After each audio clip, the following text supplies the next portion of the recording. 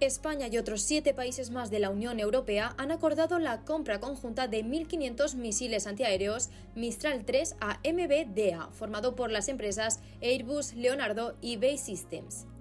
El pedido se enmarca dentro del programa EDIRPA, diseñado para impulsar la cooperación en la industria de defensa europea mediante compras conjuntas. El conocido como Proyecto Mistral está liderado por Francia y será la Dirección General de Armamento francesa quien controlará y supervisará todo el proceso de adquisición.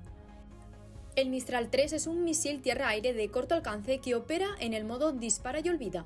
Es un sistema de armas para baja y muy baja cota portátil que permite defender puntos vitales o unidades de combate contra objetivos como aviones de combate, aviones de transporte, helicópteros, drones, misiles de crucero y municiones merodeadoras el gobierno español aprobó la adquisición de un primer lote de 91 misiles Mistral 3 de segunda mano en el año 2020 por casi 50 millones de euros.